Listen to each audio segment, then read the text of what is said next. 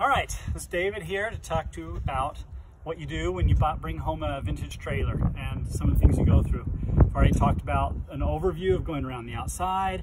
I showed you my toolkit of what I use to be able to repair things. Today, I'm gonna show you about propane, what I do in propane. So the first thing I do in propane is start up here with my tanks.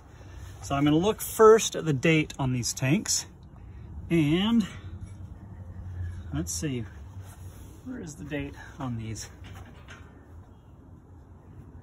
Oh, right here, sorry.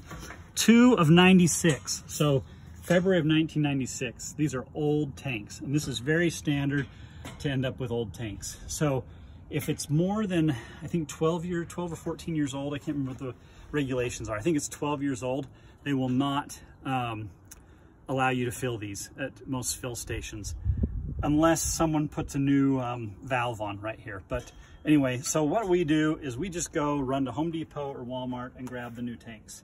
And there's two reasons for that. Number one, this is old. and number and number two, come over here, Marilyn, look at the the connector on these goes into the tank. And those tend to leak a lot easier than the ones that go around the tank. So and then this regulator is pretty old also. So I, what I do is I'll change the propane tanks out with the refillable ones from Home Depot and get a new regulator. So here's the new regulator that I have. I get these from Amazon for, I don't know, they're probably um, 50, 40, 50 dollars. So this is a auto changeover high capacity two stage regulator. And then I also had to order the hoses that come off each side for this. So this is just is a good peace of mind to have a good regulator um, so that you don't have to worry about propane leaking or something. And you'll notice these go around the outside of the tank instead of inside. I mean, they do have the inside, but they, they go around the outside and they're easy to hand screw on and off and uh, they're just more reliable. So just to rephrase or refresh, re restate, uh, check the date on the propane tanks, um, make sure the regulator is a newer regulator, change out the propane tanks if you need to and get a new regulator, and then you'll attach it to this the hose down there. The other thing I do is I turn the propane on while I'm out here working. This is the first thing I do actually, turn the propane on and then I let it sit for a while and then I've got a pretty good smeller and so I'll smell either here or inside and I'll have the kids or Marilyn come in and smell and see if they smell any propane and make sure nothing's leaking. And usually um, usually when propane is leaking, um, when you can smell it out here, it's this connector that's not working right. So that's the next thing I do, is I have my leak detector uh, stuff, liquid, um, and I use it and I'll put it on every connection to see if it's leaking. What it'll do, it's not these little bubbles, these little bubbles come from in here. It'll make bigger bubbles if it's leaking. And this looks okay here. By the way, if you don't, you can get this at Home Depot or Lowe's. If you um, don't want to just go buy it, all it is is equal parts of Dawn dish soap or whatever dish soap you use and water. So if it's a cup or a half a cup of dish soap and a half a cup of water, equal parts to make your own. And it works great. All right, so let's go inside. So we've had this on. We know we need to change out the regulator and the propane and I'll run through everything again once I've done that. Um, so I'm not going to put those on right now, but let me just show you what we do inside now to test the propane.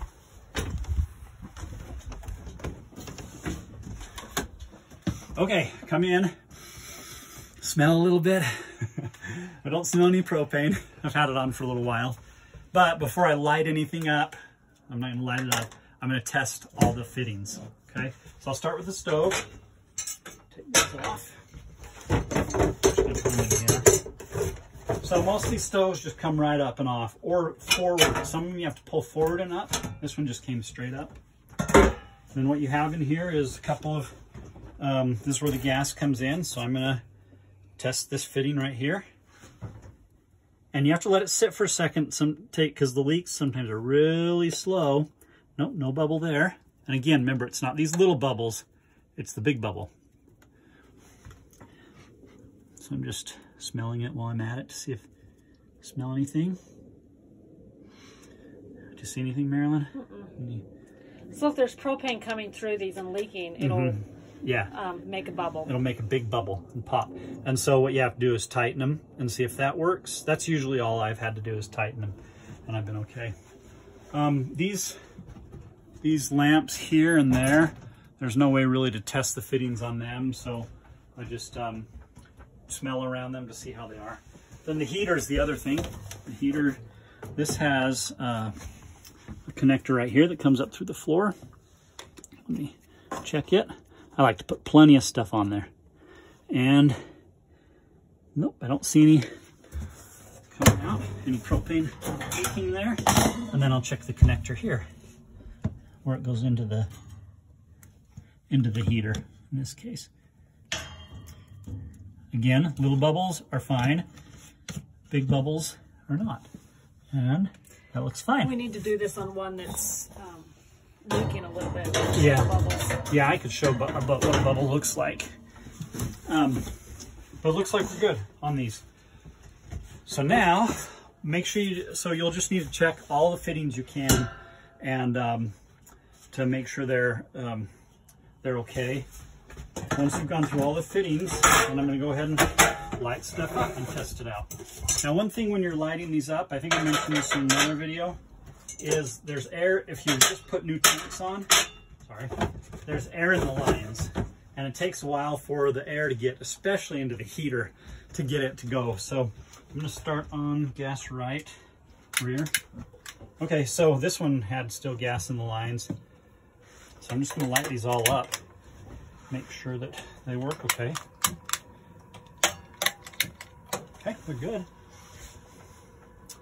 Now the flames are big on these. Sometimes, I can't test this now, sometimes the this part here whew, screws on and off, and if the flames are too big, it means that's loose. So you just tighten it, and uh, that sometimes, sometimes helps.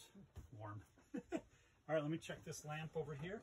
These lamps I mentioned before, they always scare me a little bit, but that one's not moving. Oh, push in to go on. There we go. So you just turn it on, light it, and there you go. So it seems to work okay. I am always a little hesitant on these. Let's check this one up here really quick. And these are those Coleman mantles that you can buy for Coleman uh, lamps. just the standard mantles. Love it. they are pretty, and they, by the way, they put off good heat in the winter. Okay, that one's good. Those ones are very, look very good. All right, heater. So on heater, it's got a pilot light. So I'm gonna, oh, that's why it was, okay. Okay, it was on, which is not good, but, so I'm gonna turn it to off. I'm gonna turn it to pilot. Let me, it just stopped. I didn't. Oh, no, sorry. I thought my email stopped it. That's why I was, okay. So I'm gonna open this up because the pilot light's in here. So I'm gonna push and hold it for, I don't know, 20 seconds. I'm just gonna see. So can you see over here, Mara? The, Yeah. It's, see how it's blowing the, blowing the, uh, my flame? It's because there's air coming out of there. That means there's not air in the lines, or there's too much air in the lines. So I'm just gonna give it a second. Okay, all right. Sometimes these heaters take a long time to get the propane in the line.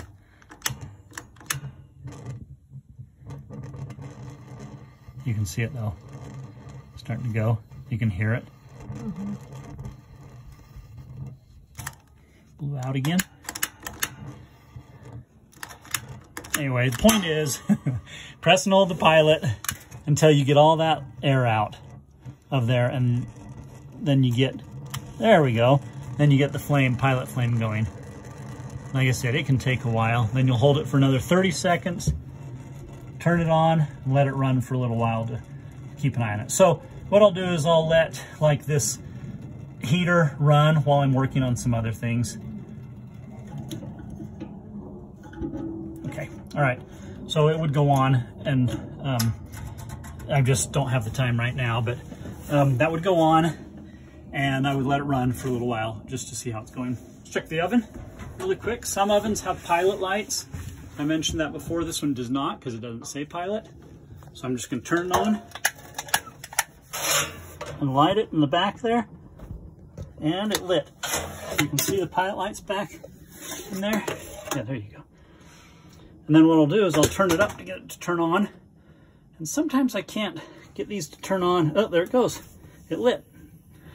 So what I'll do is I'll just let this run for a little while also while I'm in here. In the summer, it makes it kind of hot, but it's okay. Okay, I'm gonna go ahead and turn that off. One thing I'll note too is if um, if these do not, um, if they're dirty inside, they'll stink. So I like to wipe them out before I light them up. Okay, can you show one more time where you light the pilot? Yeah, so it's always in the back. It's actually lit back there. Yeah. See it right there? Because so this must have a pilot light. Let's see. Just so it's right back in here. Oops. So is where the pilot light is at. Okay. Okay. All right. Let's see. So the other, um, yeah, let me sit down here really quick. The other, the other things you might have on your um, uh, vintage trailer that you need to test from the propane standpoint is the water heater, uh, which is nice to have hot water. Don't light it until um, it's full of water, okay? And also there's a tube going into the water heater or the propane where the flame shoots out. Make sure that's really clean inside. I had one that had uh, bees nest or wasp nests in there.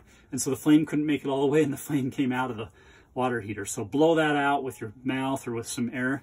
Just blow the tube out from the propane in out to where the flame goes into the water heater. Um, also, you might have a fridge. This one doesn't have a fridge that runs off propane, so you want to test it also. And make sure everything is level when you test propane so that the flames don't tilt too much and come out of their protective area and start a fire. So that's propane.